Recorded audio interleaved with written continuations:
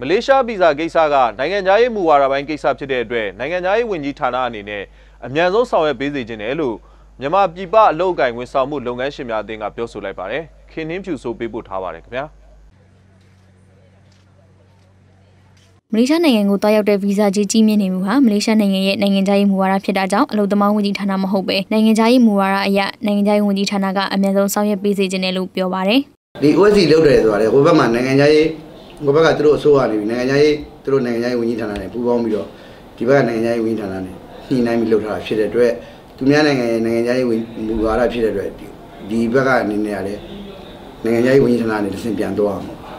လေးရှားနိုင်ငံကထိုင်းနိုင်ငံပြီးရင်မြန်မာလူသားတွေအများဆုံးသွားတဲ့နိုင်ငံဖြစ်တာကြောင့်အခုကိစ္စကရည်ရှိဆိုရင်အလုပ်ရှင်ကအလုပ်သမားတွေပါထိခိုက်နေနိုင်တယ်လို့သူကဆက်ပြောပါတယ်ဟောဒီကအလုပ်သမားတွေရဲ့ကျင်းနေကြတဲ့အခက်အခဲဖြစ်တယ်အလုပ်သမားတွေမဟုတ်ဘူးအလုပ်ရှင်တွေဒီဘက်က agency တွေအတွက်လည်းအများကြီးအခက်အခဲဖြစ်တဲ့အတွက်ဒါကတော့ ဟိုတွန်းတက်တိုက်ဖြစ်အောင်လုပ်ရမှာပေါ့နော်ဒီဟာဟိုဟိုနိုင်ငံရေးဝန်ကြီးဟိုကလည်းဟိုဟိုဟိုဒေါန်ဆန်းစုကြည်ကနိုင်ငံရေးဝန်ကြီးဖြစ်သွားပြီဆိုတဲ့အတွက်ဟိုအခွင့်အလမ်းတွေအများကြီးရမယ်လေရနိုင်တယ်နော်ဟိုဆိုတကယ်အခက်အခဲတဲ့အခက်အခဲကိုတင်ပြမှာဖြစ်တဲ့အတွက်ဒါကတော့ဟိုမကြမီတော်တယ်မှာအချိန်ပိုင်းလေးတော့နည်းနည်းတော့စောင့်ပြရမှာပေါ့ဒီဟိုဖြေလျှော့သွားမယ်လို့တော့ထင်ပါတယ်လက်ရှိအချိန်မှာမလေးရှားနိုင်ငံကအလုပ်သမားခေါ်တာတွေခိတ္တရဲဆိုင်ထားပြီးမြန်မာနိုင်ငံကလည်းမလေးရှားကိုအလုပ်သမားဆီလူတာတွေရဲဆိုင်ထားတာပါ